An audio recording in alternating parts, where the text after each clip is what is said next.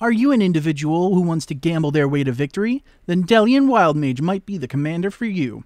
For this deck, we're going to focus on getting the most value out of our creatures as possible. Unfortunately, enters the battlefield abilities aren't going to be much use, so we're going a different route. We're going to play cards that gain an effect whenever we hit our opponents and try to trigger them as many times as possible.